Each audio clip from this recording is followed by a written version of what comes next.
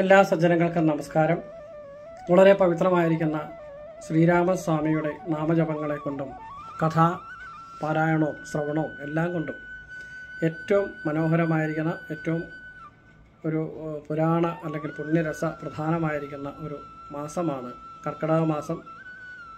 ഈ കർക്കിടക മാസം ഈ ഒരു പ്രാധാന്യം കൊണ്ട് തന്നെ രാമായണ മാസം എന്നാണ് അറിയപ്പെടുന്നത്. ഈ രാമായണ മാസത്തിലെ ആചാരങ്ങൾ എങ്ങനെയൊക്കെയാണ് വേണ്ടത്? എന്തൊക്കെ ചെയ്യാം? എന്തൊക്കെ ചെയ്യാൻ പാടില്ല? ഇങ്ങനെയൊക്കെയുള്ള കാര്യത്തെ സംശയിച്ച് പലരും പല വിധത്തിലുള്ള സംശയങ്ങളും വിളിച്ചു ചോദിക്കാറുണ്ട്. അതുകൊണ്ടാണ് ഇങ്ങനെ ഒരു വീഡിയോ തയ്യാറാക്കി പ്രകാശിപ്പിക്കുന്നത്. അപ്പം അത് ആൾക്കാരുടെ സംശയ നിവാരണത്തിനും ഒപ്പം നല്ല രീതിക്ക് ഈ ഒരു മാസത്തെ ആചരിക്കാനും എല്ലാം സഹായകരമാകുമെന്നാണ് പ്രതീക്ഷിക്കുന്നത്. നമ്മുടെ മനസ്സിലെ ഏതൊരു വിധത്തിലുള്ള ദുഃഖ ദുരിതങ്ങളെയും അകറ്റുവാൻ ശക്തിയുള്ള എല്ലാ ദുഃഖ ദുരിതങ്ങളെയും അകറ്റി നമുക്ക് എല്ലാ വിധത്തിലുള്ള ഐശ്വര്യവും സമൃദ്ധിയും സന്തോഷവും എല്ലാം നൽകാൻ സാധിക്കുന്ന മൂർത്തിയാണ് സാക്ഷാൽ ശ്രീരാമസ്വാമി.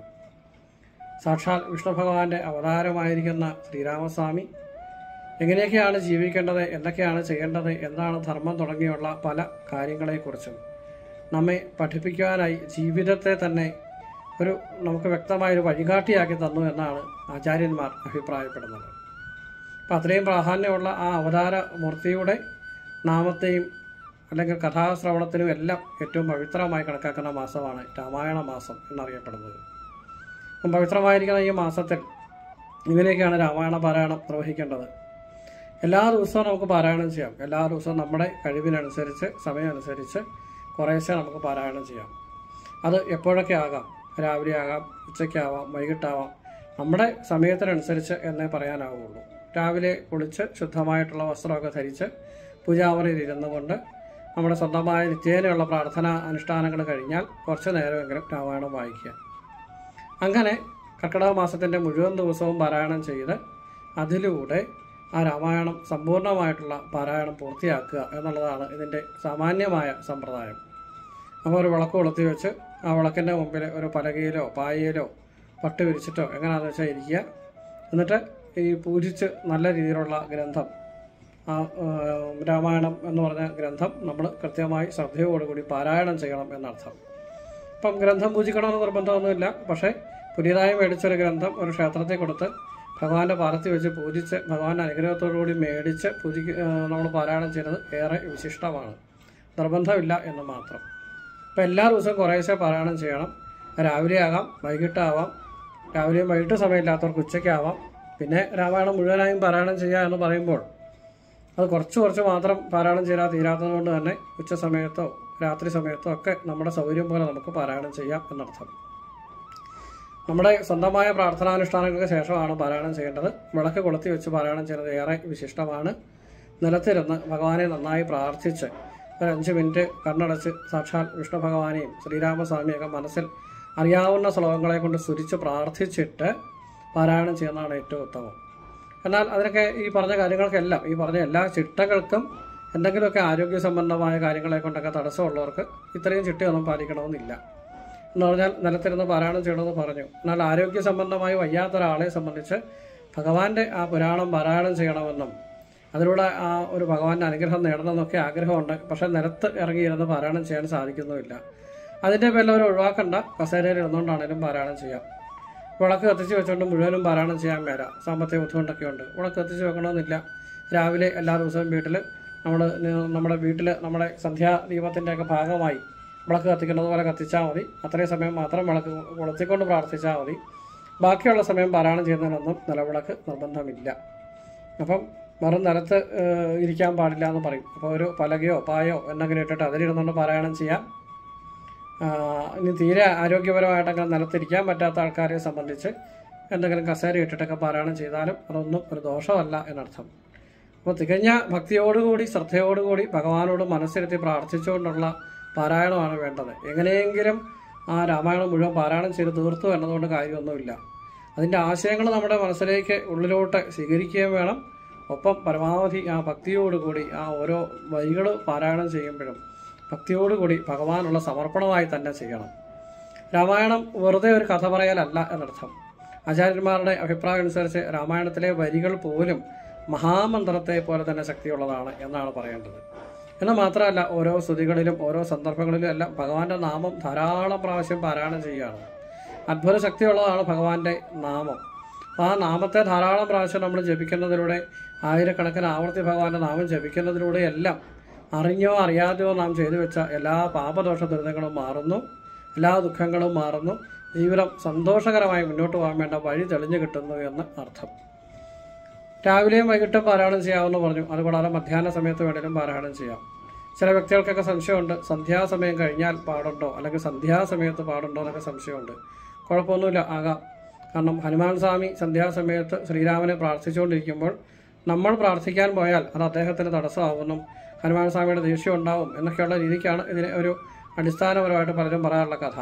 പക്ഷെ ആ കഥയ്ക്ക് വലിയ കാര്യമൊന്നുമില്ല. വലിയ കാര്യമൊന്നുമല്ല യാതൊരു വിധത്തിലുള്ള കാര്യങ്ങളുമില്ല കാരണം ഹനുമാൻ സ്വാമിയെ സംബന്ധിച്ച് രാമനാമം ഇല്ലാത്ത ഒരു സെക്കൻഡ് സമയം പോലും ഇല്ല എന്നാണ് പറയുക. അത്രമാത്രം ഭഗവാന്റെ വലിയ ഭക്തനാണ് ഹനുമാൻ സ്വാമി അപ്പോൾ ഹനുമാൻ സ്വാമി എപ്പോഴും പാരായണം ചെയ്തുകൊണ്ടേയിരിക്കുകയാണ് ഭഗവാന്റെ നാമം. എപ്പോഴും ജപിച്ചുകൊണ്ടേയിരിക്കുകയാണ്. നടക്കുമ്പോഴും ഇരിക്കുമ്പോഴും ഓടുമ്പോഴും എന്ന് വേണ്ട എപ്പോഴും. അപ്പം അങ്ങനെയുള്ള ആ ഹനുമാൻ സ്വാമിയുടെ നാമജപം ഒരു സമയത്തും നിൽക്കുന്നില്ല. ഹനുമാൻ സ്വാമി പാരായണം ചെയ്യാത്ത സമയത്ത് നമ്മൾ പാരായണം ചെയ്യാനിരുന്നാൽ നമ്മൾ ഒരിക്കലും ജപിക്കേണ്ടി വരില്ല എന്നർത്ഥം. സന്ധ്യാസമയത്ത് മാത്രമല്ല ഹനുമാൻ സ്വാമി പ്രാർത്ഥിക്കുന്നതെന്നർത്ഥം അപ്പം അതുകൊണ്ട് തന്നെ സന്ധ്യാസമയത്തും രാവിലെയും ഉച്ചയ്ക്കും എല്ലാം നമുക്ക് പാരായണം ചെയ്യാം. നിലത്തിരുന്നുകൊണ്ട് പാരായണം ചെയ്യാം. അല്ലെങ്കിൽ കസേര ഇട്ടുകൊണ്ടിരുന്ന് പാരായണം ചെയ്യാം. വിളക്ക് കൊളുത്തിയോ വിളക്ക് കൊളുത്താതെയോ പാരായണം ചെയ്യാം. അതിനൊന്നും വിരോധമില്ല. വളരെ ശ്രദ്ധയോടുകൂടും അക്ഷരത്തെറ്റില്ലാതെയൊക്കെ വേണം പാരായണം ചെയ്യാൻ. കാരണം ഭഗവാന്റെ മന്ത്രങ്ങൾ തുല്യമായ വരികളാണ് ഇവ ഓരോന്നും എന്ന് പറഞ്ഞു. അപ്പോൾ അതുകൊണ്ട് എത്രമാത്രം അക്ഷരത്തെറ്റില്ലാതെ ഭംഗിയായി ചൊല്ലാൻ സാധിക്കും എന്ന് നോക്കുക അപ്രകാരം പാരായണം ചെയ്യാം എല്ലാ ഭൗതിക ദുഃഖങ്ങളെയും അകറ്റുകയും ഒപ്പം ആത്മീയതയിലൂടെ അങ്ങേയറ്റം ഉയർച്ച ലഭിക്കുന്നതിനുമെല്ലാം ഭഗവാന്റെ അനുഗ്രഹം മാത്രം മതി എന്നർത്ഥം. നമ്മൾ സാധാരണ നിത്യജീവിതത്തിലൊക്കെ നമുക്ക് ധാരാളം പ്രതിസന്ധികളുണ്ട്. സാമ്പത്തിക പ്രശ്നങ്ങൾ ജോലിയില്ല അല്ലെങ്കിൽ ജോലി സ്ഥലത്ത് പ്രശ്നങ്ങൾ കുടുംബജീവിതത്തിൽ പ്രശ്നങ്ങൾ സന്താനങ്ങളിൽ ഇല്ലാത്തതിന്റെ ദുഃഖം സന്താനങ്ങൾ ഉണ്ടായാൽ അവരിൽ നിന്നും പിന്നീടുണ്ടാകുന്ന പെരുമാറ്റങ്ങളെ കൊണ്ടുള്ള ദുഃഖം രോഗാതി ദുരിതങ്ങൾ. ഇങ്ങനെ പല രീതിയിലായിരിക്കും നാം ഓരോരുത്തരും ഓരോ ദുഃഖങ്ങളെയും നേരിടുന്നത്. ഇവ എന്താണെങ്കിലും അവയിൽ നിന്നെല്ലാം രക്ഷ നേടാൻ വേണ്ടിയുള്ള ഒരു മഹാമന്ത്രം തന്നെയാണ് രാമായണം. അപ്പോൾ ശ്രദ്ധയോടുകൂടി പാരായണം ചെയ്താൽ എല്ലാ ദുഃഖങ്ങളും മാറി എല്ലാ വിധത്തിലുള്ള ഐശ്വര്യങ്ങളും ഉണ്ടാകും എന്നാണ് രാമായണത്തിന്റെ ഫലശ്രുതി പറയുന്നത്. ചില ആൾക്കാർക്ക് രാമായണം ഉത്തര രാമായണം അടക്കം മുഴുവനും പാരായണം ചെയ്യണം എന്ന ആഗ്രഹമുണ്ട്. ആകാം അതായത് നമ്മൾ സാധാരണ പാരായണം ചെയ്യുന്ന ബാലകാന്ഡവും അയോധ്യാകാന്ഡവും ആരണ്യകാന്ഡം കിഷ്കന്ധാകാന്ഡം സുന്ദരകാന്ഡം യുദ്ധകാന്ഡം ഇങ്ങനെയുള്ള ഭാഗങ്ങളല്ലാതെ അതിനുശേഷം കൊടുത്തിരിക്കുന്ന ഉത്തര രാമായണം അല്ലെങ്കിൽ ഉത്തരകാന്ഡം എന്നൊക്കെ പറയാറുണ്ട്. അതും സാധിക്കുന്നവർ പാരായണം ചെയ്യാം വിരോധമൊന്നുമില്ല. പക്ഷേ ഉത്തര രാമായണം കൂടെ വായിച്ചാലേ പൂർത്തിയാവൂ എന്നില്ല. ഏതാണ്ട് മൊത്തം ഗ്രന്ഥത്തിന്റെ പകുതിയോളം വരുന്ന യുദ്ധകാന്ഡം വരെയുള്ള ഭാഗം പാരായണം ചെയ്താൽ തന്നെ നമുക്ക് പൂർണമായ അനുഗ്രഹം ഉണ്ടാകും. സംശയമില്ല. എന്തെങ്കിലും കാരണവശാൽ ഇപ്പോൾ നിങ്ങളുടെ ജോലി തിരക്കോ മറ്റു സാഹചര്യങ്ങളെ കൊണ്ടൊക്കെ നിങ്ങൾക്ക് ഇത്രയൊന്നും പാരായണം ചെയ്യാൻ പറ്റുന്നില്ല. വളരെ കുറച്ചേ പാരായണം ചെയ്യാൻ സാധിക്കുന്നുള്ളൂ. ഇത്രയൊന്നും എത്തിക്കാൻ പറ്റുന്നില്ല എന്ന പേരിൽ പാരായണം ഒഴിവാക്കേണ്ടതില്ല. നിങ്ങൾക്ക് സാധിക്കുന്നതിന് അത്രയും വായിച്ചാൽ മതി. ഏതെങ്കിലും പ്രധാനപ്പെട്ട ഭാഗങ്ങൾ മാത്രമായി തിരഞ്ഞെടുത്ത് വേണമെങ്കിലും നിങ്ങൾക്ക് പാരായണം ചെയ്യാം. അതിനും വിരോധമൊന്നുമില്ല. ധാരാളം വളരെ മന്ത്രത്തിനേക്കാൾ ശക്തിയുള്ള അല്ലെങ്കിൽ മന്ത്രത്തെ പോലെ ശക്തിയുള്ള ധാരാളം സ്തുതികളൊക്കെയുണ്ട്. കബന്ധന്റെ സ്തുതി അതുപോലെ ജഡായു സ്തുതി ഇങ്ങനെ പല സന്ദർഭങ്ങളിൽ ഓരോരോ വ്യക്തികൾ അല്ലെങ്കിൽ ഓരോ കഥാപാത്രങ്ങൾ ഭഗവാനെ സ്തുതിക്കുന്നതായി പറയുന്നുണ്ട്. ആ സ്തുതികൾ ഓരോന്നും വളരെ വേദാന്തപരമായ രീതിക്ക് പറഞ്ഞാൽ വളരെ അർത്ഥമുള്ള വളരെ ശക്തിയുള്ള മന്ത്രങ്ങളൊക്കെ തന്നെയാണ്. അതുകൊണ്ട് ആ സ്തുതികൾ മാത്രമായിട്ട് വേണമെങ്കിലും നിങ്ങൾക്ക് പാരായണം ചെയ്യാം. ഇനി അല്ലാതെ നിങ്ങളെ സംബന്ധിച്ച് പ്രത്യേകമായി തോന്നുന്ന എന്തെങ്കിലും ഒരു ആഗ്രഹ സാധീകരണത്തിന് വേണ്ടി ആ ആഗ്രഹം സാധിക്കുന്നതിന് വേണ്ടി എന്ന ലക്ഷ്യത്തിൽ വേണമെങ്കിലും നിങ്ങൾക്ക് പാരായണം ചെയ്യാം. എന്ന് പറഞ്ഞാൽ ഇപ്പോൾ ശത്രുദോഷാദി ദുരിതങ്ങൾ അല്ലെങ്കിൽ ശത്രുക്കളിൽ നിന്നുള്ള പല വിധത്തിലുള്ള ദോഷങ്ങളും അനുഭവിക്കുന്നവർക്ക് അവയിൽ നിന്ന് രക്ഷ നേടുന്നതിന് വേണ്ടി മേഘനാഥനെ വധിക്കുന്ന ഭാഗമോ രാവണനെ വധിക്കുന്ന ഭാഗമോ അങ്ങനെയുള്ള കാര്യങ്ങളൊക്കെ പാരായണം ചെയ്യാം. സന്താനങ്ങളില്ലാത്തവർക്ക് പുത്രകാമിഷ്ടിയാഗത്തിന്റെ ഭാഗം അതുപോലെ ദാമ്പത്യ ജീവിതത്തിൽ പല വിധത്തിലുള്ള ക്ലേശങ്ങളും അനുഭവിക്കുന്നവർക്ക് സീതാ സ്വയംവരം എന്നുള്ള ഭാഗം ഇതൊക്കെ പാരായണം ചെയ്യാം. അതായത് നമുക്ക് ഏതേത് ദുഃഖങ്ങളാണോ നേരിടുന്നത് അതുമായി ബന്ധപ്പെട്ടുള്ള ഭാഗങ്ങൾ പാരായണം ചെയ്താൽ ഭഗവാന്റെ അനുഗ്രഹം കൊണ്ട് ആ വിഷയത്തിലെ തടസ്സങ്ങൾ നീങ്ങി കിട്ടുക എന്നുള്ളതും ഉണ്ടാവും. ഇതൊക്കെ ഓരോ ആൾക്കാരുടെ അനുഭവ സാക്ഷ്യങ്ങളാണ്. അപ്പം ഇപ്രകാരമുള്ള കാര്യങ്ങളെല്ലാം നമുക്ക് നമ്മുടെ നിത്യജീവിതത്തിലേക്ക് കൊണ്ടുവന്നു കഴിഞ്ഞാൽ ഈ രാമായണ പാരായണം തന്നെ വലിയ ഒരു പരിഹാരക്രിയയാണെന്നർത്ഥം. ഇന്ന് നാം അനുഭവിച്ചുകൊണ്ടിരിക്കുന്ന ഒരു പരിധിവരെയുള്ള ദുഃഖങ്ങളെ മാറ്റുവാനെല്ലാം ഈ രാമായണ പാരായണം കൊണ്ട് സാധിക്കും.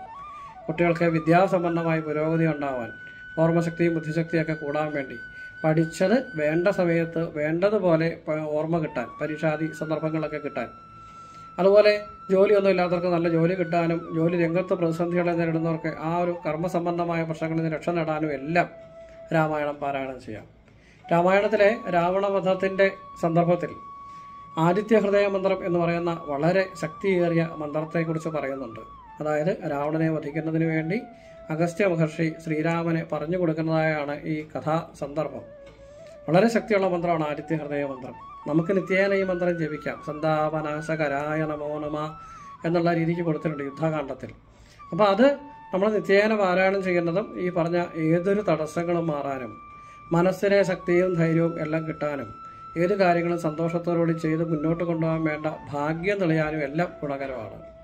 പലപ്പോഴും നാം എല്ലാം പല കാര്യങ്ങളും ചെയ്യാറുണ്ട്. എന്നാൽ അതിനൊന്നും ഒരു ഭാഗ്യം ഇല്ലാത്തത് കൊണ്ട് നമ്മൾ ചെയ്തിട്ടിരിക്കുക എന്നുള്ളതല്ലാതെ അവയിലൊന്നും പൂർണ വിജയം ലഭിച്ചു എന്ന് വരത്തില്ല. അപ്പോൾ അതൊക്കെ മാറാനും എല്ലാം ഈ ആദിത്യ ഹൃദയ മന്ത്രം ജപിക്കുന്നത് ഗുണകരമാണ്. അത് നമുക്ക് നിത്യേന എല്ലാ ദിവസവും ഒരു മൂന്ന് പ്രാവശ്യം വീതം എല്ലാ ദിവസവും ജപിക്കാം. കർക്കിടക മാസത്തെ മാത്രമല്ല അതിന് ശേഷം വേണമെങ്കിലും ജപിക്കാം. ആദ്യത്തിന് പ്രാധാന്യം ഉള്ളതുകൊണ്ട് ഞായറാഴ്ച ദിവസങ്ങൾ കണക്കാക്കി വേണമെങ്കിലും ജപിക്കാം എന്നർത്ഥം. പിന്നെ ഈ കർക്കിടക മാസത്തിലെ വിശിഷ്ടമായിരിക്കുന്ന ധാരാളം വൈഷ്ണവ ക്ഷേത്രങ്ങളൊക്കെ ദർശനം നടത്തുവാൻ സമയം കണ്ടെത്തുക.